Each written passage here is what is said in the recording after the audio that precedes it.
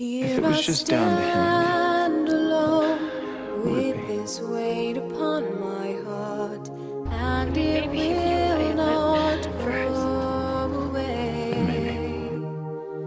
In my head, I keep on looking I'm Elena. Back, I'm Damon. Right back to the start, wondering what it was you that love that consumes you.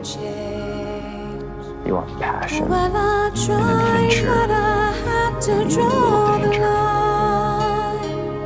And still, this question keeps on spinning. so, what do you want?